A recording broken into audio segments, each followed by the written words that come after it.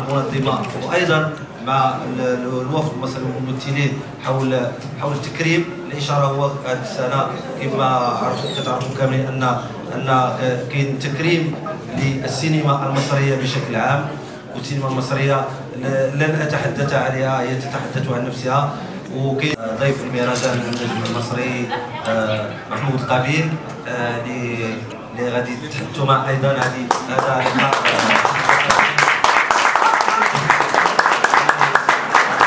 هذا هذا لقاء مع اللجنه المنظمه كما كما سطرناه وأيضا طبعا يشرفني إن أنا أكون آه، موجود معاكم هنا.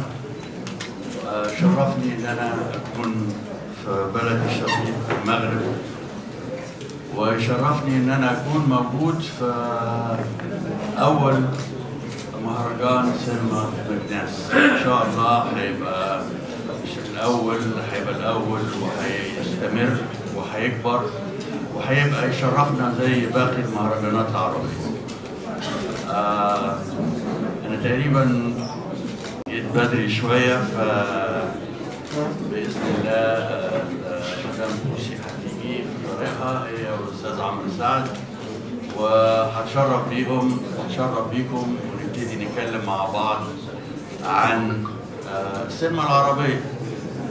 مش هقول المغربية والمصرية أكتر من السينما العربية وإزاي ممكن آه، نطور آه، هذه الصناعة. والمهرجانات دي هي عبارة عن مش مهرجانات آه، إن إحنا نتعرف على بعض بس. أو إن إحنا نحتفل ببعض أو يبقى فرصة إن إحنا نصيف ولا ناخد إجازة. المهرجان ده عشان السينما السينما وكيف ان إحنا كعرب نوصل لمستوى آه، آه، كتير قوي سبقونا آه، وابتدوا بعدينا. يعني لو تعرفوا طبعا كلكم عارفين إن تقريبا في آخر القرن ال 19 لويلي ميار جه عمل فيلم هنا في المغرب. يعني آه، السينما دخلت المغرب في آخر القرن ال 19 لما نفكر كانت إيه هوليوود ساعتها ولا بوليوود بعد كده ولا ولا ولا.